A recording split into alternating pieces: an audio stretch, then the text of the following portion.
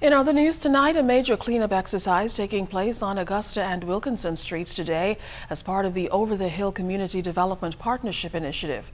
Prime Minister the Most Honorable Dr. Hubert Minnis visited the area and got an update on the progress of the initiative. Member of Parliament for Bain and Grantstown, Travis Robinson, says it's about empowering residents and creating safe spaces.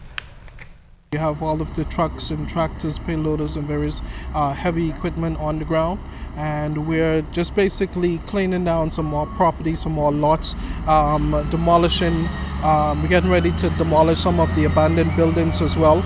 We're moving all of the derelict vehicles out of the community as well. That's currently ongoing. During our first phase, we uh, cleared down the property through here, and we came back today, and uh, the owner of the property has now uh, constructed an apartment complex. And so that's one of the things I'm happy to see that where persons are now taking advantage of the initiative and really revitalizing the community for themselves. Program Manager Rocky Nesbitt announced that the cleanup effort will continue in the Centerville area after the Easter holidays.